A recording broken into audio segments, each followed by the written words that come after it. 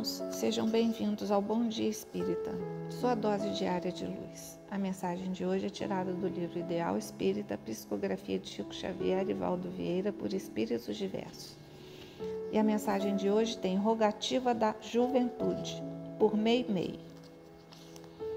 Reparaste-me os erros, no entanto, peço-me mostres o caminho para que eu venha a trilhá-lo.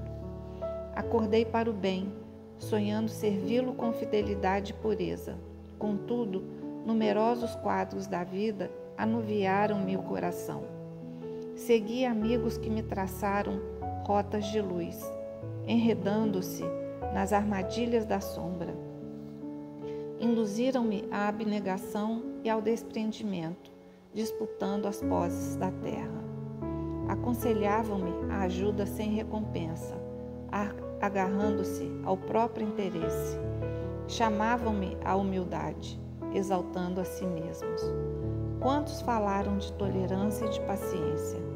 Trazidos, porém, à hora do sacrifício, derramavam azedume e pessimismo, como se trouxessem no, no peito um vaso de fogo e fel.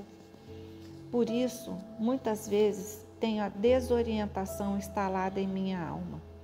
Sei que meus modos te ferem, que as minhas palavras te afligem.